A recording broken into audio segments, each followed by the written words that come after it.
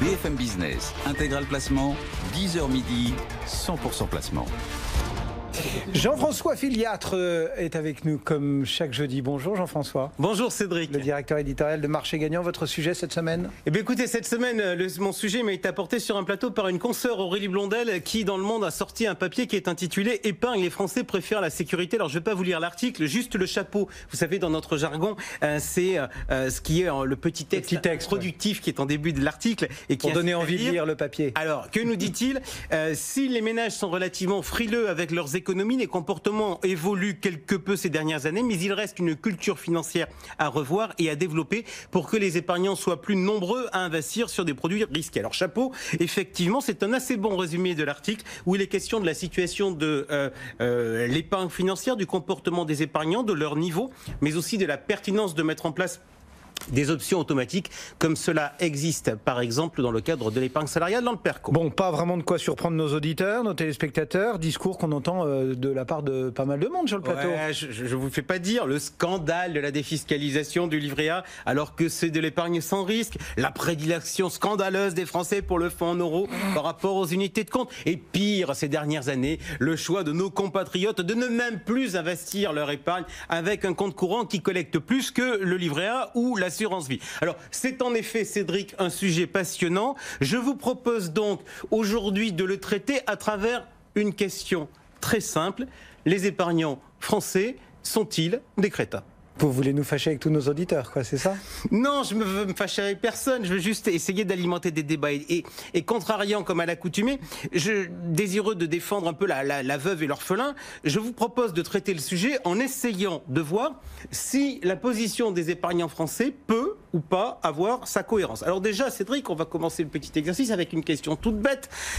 Comment peut-on épargner? En mettant de l'argent de côté, genre euh, livret A, euh, euh, effectivement livret bancaire, euh, contrat d'assurance vie, voire même en poussant jusqu'à acheter son logement. Parce qu'après tout, quand on paye un crédit, on fait de l'épargne, de l'épargne forcée en quelque sorte. Mais Parfait. Ben justement, on va commencer par là. D'autant qu'il y a un sujet sur ce thème-là qui m'a bien énervé cette semaine. alors allons-y. Qu'est-ce qui vous a énervé? Bah, le taux de l'usure. Vous avez Ah. vu? Le Marie taux- Cœur de Roy nous a expliqué ça le taux de avec brio. est- Le taux de l'usure est tellement bas qu'on va plus pouvoir prêter un certain. Mais quelle honte Vous vous rendez compte On va plus pouvoir mettre la corde au cou aux plus de 60 ans parce que le poids de l'assurance emprunteur dans le calcul du TAEG devient trop important. Mais d'urgence, il faut réformer le taux de l'usure. Soyons sérieux. Faisons plus simple. Que les banquiers renoncent à l'assurance emprunteur si ça coûte trop cher d'assurer un vieux. Mais ça, ils le veulent pas. Vous connaissez le truc du système. Pile, c'est il gagne, face, c'est on perd. Bon, c'est un peu normal qu'un banquier veuille couvrir euh, ses risques, un peu comme avec les partis politiques, euh, dirait Guillaume sur Twitter. Ouais. Ben, euh, Vous lisez c'est sûr. Guillaume sur Twitter Comme d'habitude, vous savez, je, je charrie. Il est normal, il est normal qu'un banquier veuille couvrir ses risques. Mais je suis au regret de vous dire qu'il est normal aussi qu'un particulier couvre ses risques. En particulier avec le crédit immobilier.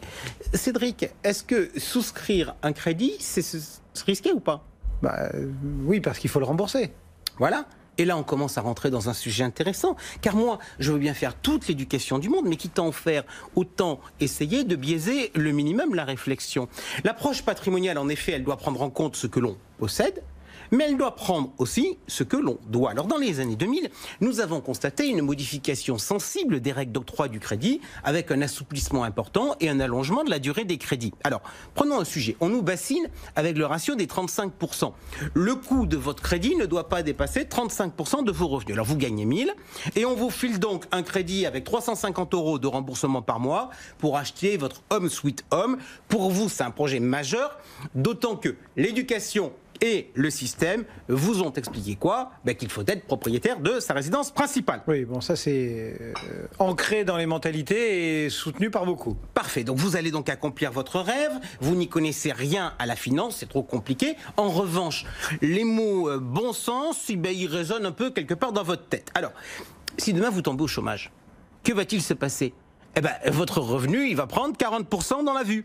Bref, vous finissez à 600, moins de 600 euros de revenus et 350 euros de mensualité. Et votre effort d'épargne, il passe à plus de 60, à près de 60%. Et je vous le dis, à ce moment-là, vous allez faire quoi? Vous allez bouffer des patates. Et comme vous n'avez pas voulu prendre d'assurance perte d'emploi vu vos moyens, rappel, 4% des Français en prennent une. Donc, qu'est-ce que vous faites? Eh bien, vous mettez de l'argent de côté au cas où. Et surtout, sur ce fric, vous voulez de la disponibilité et aucun risque. Bref, plus on développe le crédit immobilier, plus on doit désensibiliser l'épargne.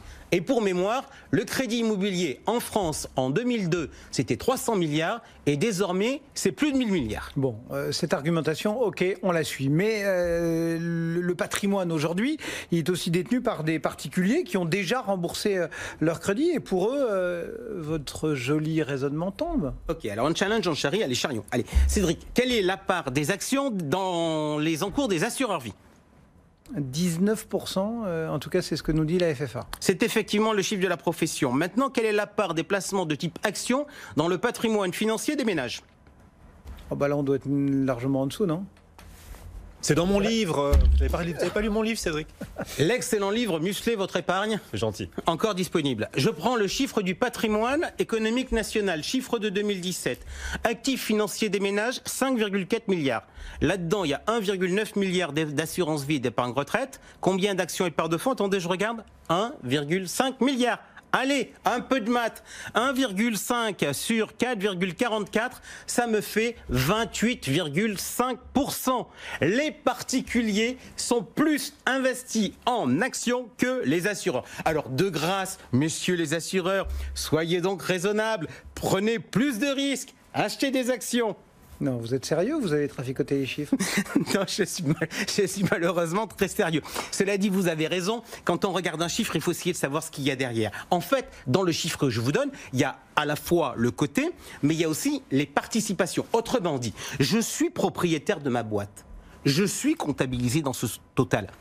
Il est clair que euh, cet argent, euh, la majorité de cet argent, de ces 1,5 milliard, c'est du patrimoine professionnel. Mais si je suis propriétaire de ma boîte, Cédric, vous n'allez quand même pas me dire que je ne suis pas en situation de risque.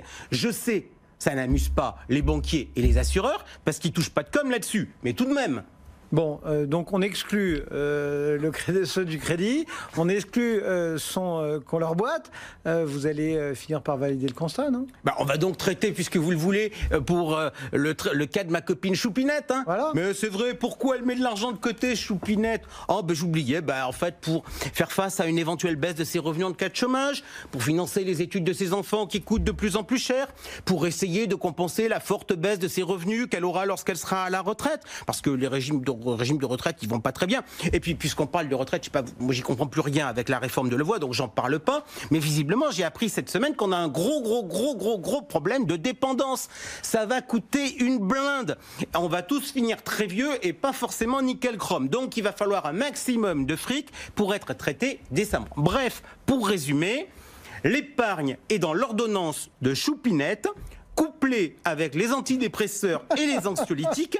Et après, on s'étonne qu'elle danse pas sur la, la gigue sur la table, réclamant une couche de risque supplémentaire. Moi, personnellement, je la comprends. Bon, ça veut dire qu'il faut faire de l'éducation avec la bourse? Ouais, ouais, bien sûr, à condition de ne pas clamer bêtement euh, le place, les actions sont le meilleur placement à long terme. Parce que ça aussi, vous n'êtes pas d'accord Mais toutes les études sur le sujet travaillent sur les marchés américains, officiellement parce que c'est celui qui a le plus de profondeur et celui qui a le plus historique. Mais l'économie américaine, elle a une caractéristique, c'est d'être marquée par une croissance assez élevé, on va dire, à long terme. Il y a de cela quelques années, l'AMF, l'autorité des marchés financiers, a fait une étude sur la rentabilité des placements, qui validait le présupposé.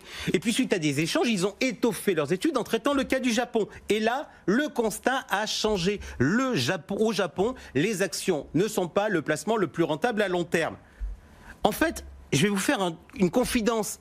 Investir en actions, c'est faire preuve d'optimisme, c'est croire à la croissance, c'est croire à l'avenir. Le hic aujourd'hui, c'est que les Français n'y croient pas. Alors moi, j'entends bien les discours de la place pour nous dire que les Français sont des crétins, mais moi je vais vous faire une confidence. Ces discours-là, je les trouve contre-productifs. Et pourquoi? Parce qu'ils sont déprimants. Jean-François Fillat, très son franc-parler. Euh,